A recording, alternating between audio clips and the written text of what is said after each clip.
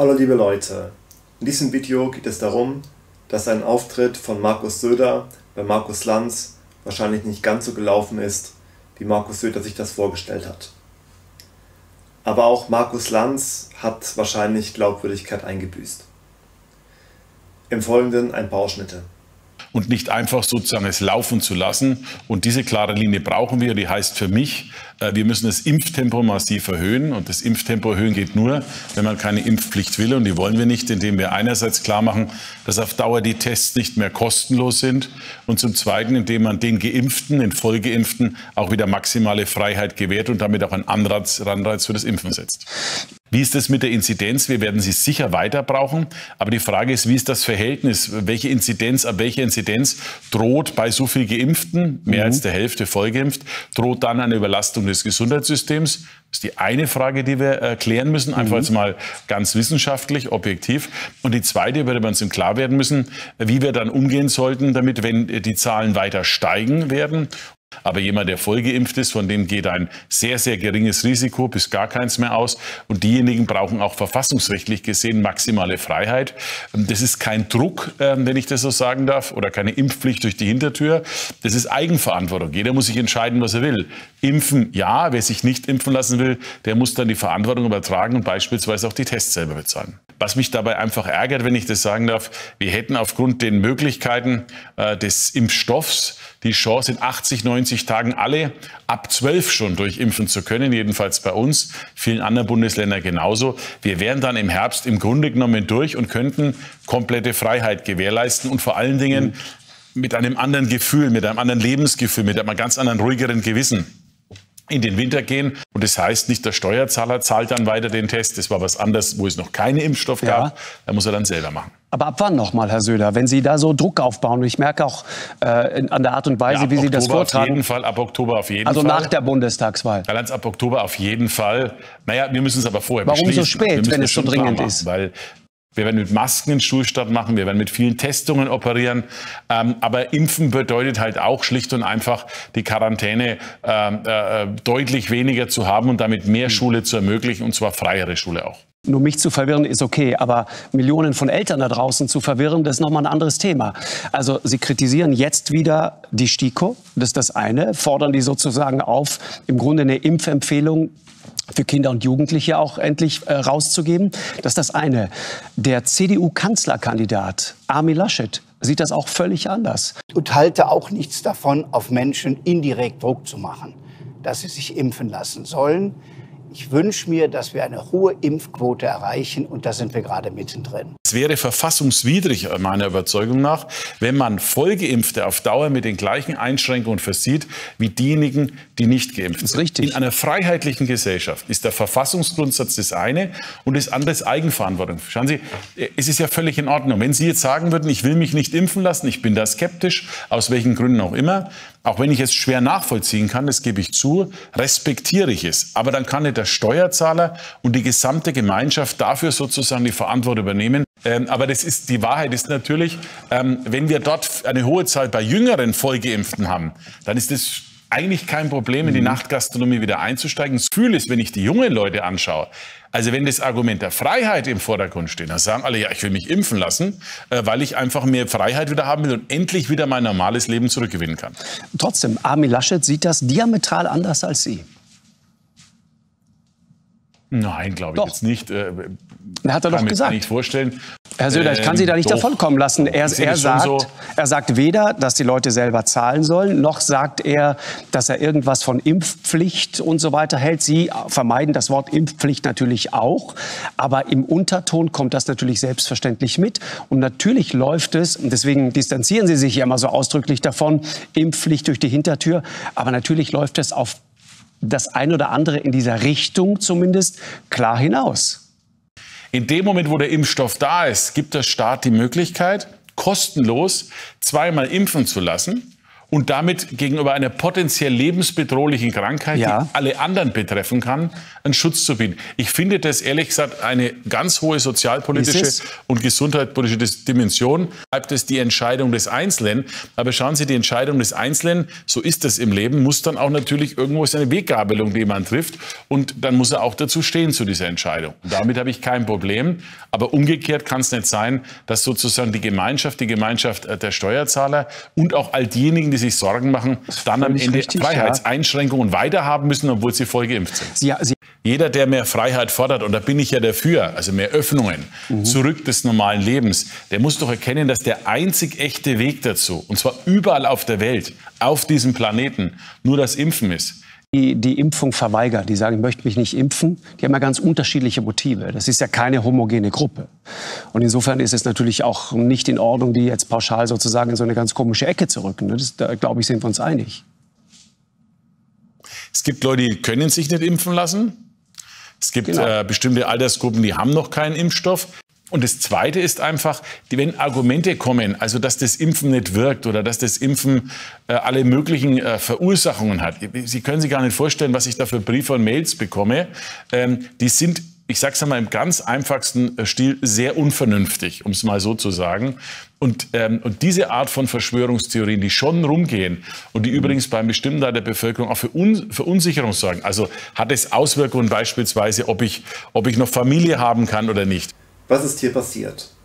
Markus Söder setzt hier das Narrativ, es müssen sich unbedingt alle impfen, sonst kann es keine Lockerung der Maßnahmen geben. Das heißt, solange diejenigen, die nicht geimpft sind, die müssen auf ihre Freiheit verzichten. Das wäre vollkommen klar und darüber muss gar nicht mehr diskutiert werden. So ist er in die Sendung gegangen. Das passt aber nicht dazu, wie es bei Markus Lanz bisher gelaufen ist. Natürlich war es so, der Lockdown letztes Jahr er wurde nie in Frage gestellt. Da waren Söder und Lanz noch d'accord. Das war vollkommen richtig, da gab es nichts zu diskutieren. Aber bei der Impfung ist es jetzt etwas anders. Markus Lanz hatte viele Leute zu Gast, die mit vielen Argumenten deutlich gemacht haben, beispielsweise vor kurzem ein Professor, der ganz deutlich gesagt hat, Covid ist eine Krankheit des Alters und der Risikogruppen? Ich halte es für nicht gefährlich, wenn die allermeisten der über 65-Jährigen geimpft sind und mhm. sehr viele der, sagen wir, über 40-Jährigen geimpft sind. Das sind die Gruppen, die vor allem an schweren Covid-Infektionen erkranken können und die müssen wir schützen. Wenn also so kurz nochmal, wenn wir die Alten durchgeimpft haben, hauptsächlich, dann ist das im Wesentlichen geschwätzt. Mhm. Die Jungen sind im Wesentlichen nicht gefährdet durch Covid-19. Es ist eine Erkrankung mhm. des Alters. Und es war der STIKO-Chef auch da gewesen, der hat auch da gesagt, es gibt die Kosten-Nutzen-Relation stimmt nicht für eine Impfung nach den bisherigen Erkenntnissen und deshalb wird eine Impfung der Kinder auch nicht empfohlen. Das heißt, Markus Lanz kann jetzt nicht einfach so tun. Jetzt kommt hier Markus Söder und sagt, ja, es ist einfach klar, dass auch die Kinder geimpft werden sollen, dass das alles ganz vernünftig ist, dass es nur so Freiheiten geben kann.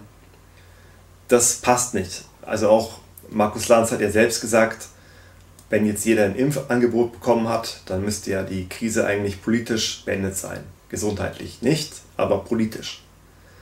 Und natürlich weiß Markus Lanz, daran haben sich jetzt auch alle erinnert. Das kann er jetzt nicht einfach machen, dass er jetzt sagt, ja, jetzt ist es vollkommen klar, dass alle geimpft werden und da gibt es nichts äh, zu diskutieren. Das ist der einzige Weg in die Freiheit und ja, und das ist vollkommen klar. Das ist nicht möglich. Was macht Markus Lanz also? Er nimmt Armin Laschet.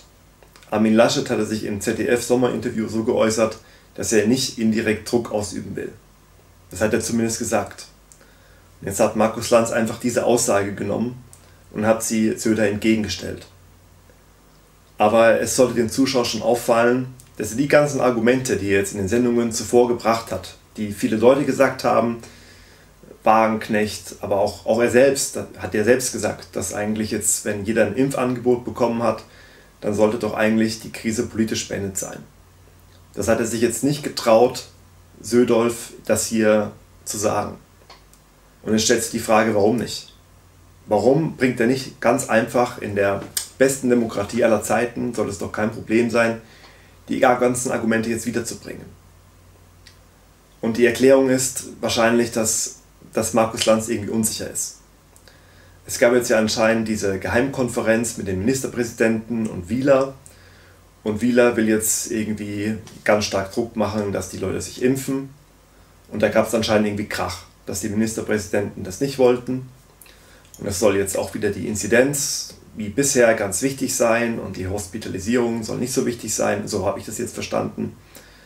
Dass also auf jeden Fall es am Ende irgendwie darauf hinausläuft, dass es entweder einen Lockdown gibt oder sich alle impfen lassen oder wir wissen es natürlich nicht genau, was da jetzt, wie es jetzt weitergehen soll.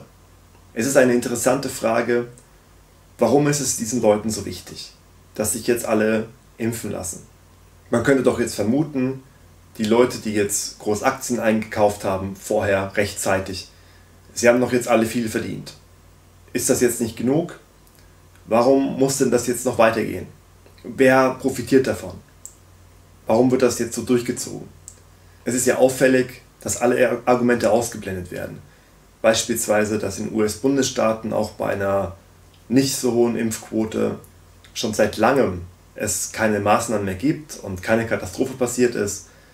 In England gibt es keine Maßnahmen und in, äh, ja, also in vielen Ländern funktioniert es und es gibt keine Katastrophe. Und Söder tut jetzt hier so, es ist vollkommen klar, dass hier alle sich impfen lassen müssen, auch die Kinder. Sonst passiert ein Unglück, das größtmögliche Unglück. Das ist äh, vollkommen klar. Da gibt es gar nichts darüber zu diskutieren. Und eine Vermutung ist, warum sie das machen, ist, dass sie nachträglich die pandemische Notlage rechtfertigen wollen. Wenn, sie jetzt, wenn jetzt alle Leute geimpft sind, dann können sie nachher sagen, euch geht jetzt gut, die Welt ist nicht untergegangen, weil ihr alle diesen Schutz jetzt habt. Und dann kann man sozusagen nicht mehr beweisen, aha, mit einer Quote, mit einer hohen Quote von Nicht-Geimpften geht die Welt trotzdem nicht unter. Auf der anderen Seite ist es aber natürlich so, dass man ja in vielen Ländern jetzt sieht, wie es läuft. Der Sinn erschließt sich mir nicht ganz. Und vor allen Dingen, das, das ist so argumentativ so schwer zu verkaufen. Auch die breite Öffentlichkeit weiß mittlerweile, dass Covid-19 eine Krankheit des Alters ist und dass die STIKO für Kinder keine Impfung empfohlen hat. Das heißt, jeder in der Bevölkerung weiß, dass die Krankheit nicht gefährlich ist für Kinder. Jedenfalls nicht lebensbedrohlich.